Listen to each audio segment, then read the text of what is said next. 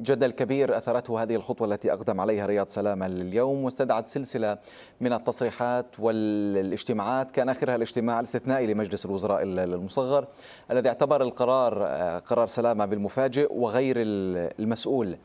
الاجتماع قرر أيضا الاستمرار في سياسة الدعم للمحروقات بخلاف ما أتى عليه سلام اليوم. بداية وفي قراءة لما يجري من تطورات أي القرارين أرجح بالنهاية؟ مساء الخير. أنا أعتبر أن هناك تسرعا من قبل حاكم مصرف لبنان باتخاذ هذا القرار. نحن نعلم أن تكلفة الدعم كبيرة جدا وهذا صحيح. ونحن نعلم أن ما دفعه مصرف لبنان خلال شهر يوليو الماضي هو حوالي 800 مليون دولار.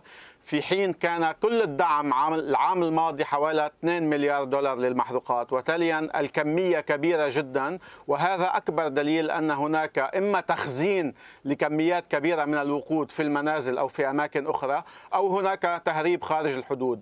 لكن الحل لا يكون برفع الدعم بين ليلة وضحاها.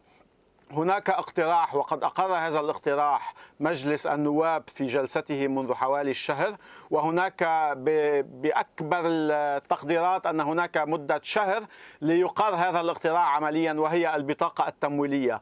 إقرار البطاقة التمويلية سيكون هناك سيكون البديل الشافي والوافي للدعم على المحروقات. إذ أن دعم المحروقات يذهب إما خارج الحدود أو في السوق السوداء وما هنالك. بينما الدعم لبطاقة تمويلية فقط يستفيد منها اللبناني والذي هو بحاجة يوفر كميات كبيرة من الأموال للشعب على الشعب اللبناني من خلال دعم مصرف لبنان له. وتاليا القرار الذي اتخذه مصرف لبنان هو قرار متسرع كان عليه أن ينتظر إقرار البطاقة التمويلية والبدء برفع الدعم تدريجيا وليس هو من حقه أساسا اتخاذ قرار برفع الدعم لوحده إذ أن السلطة الإجرائية هي من تضع السياسة العامة للدولة وهذه السلطة هي من تقرر رفع الدعم من عدمه. وهذا ما قاله اليوم رئيس الجمهورية لحاكم مصرف لبنان حينما استدعاه صباح اليوم وأبلغه هذا الموضوع إذ أن قرار رفع الدعم